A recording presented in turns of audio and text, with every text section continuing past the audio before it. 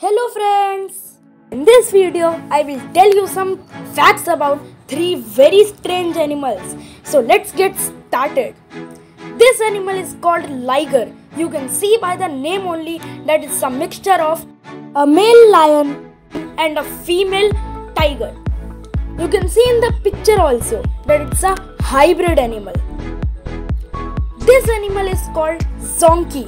You can see by the name that it's a mixture of a zebra and a donkey. Its shape is like a donkey and all the patterns in the body is like a zebra.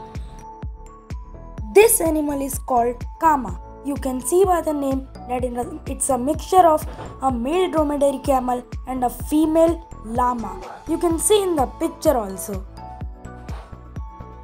Thank you.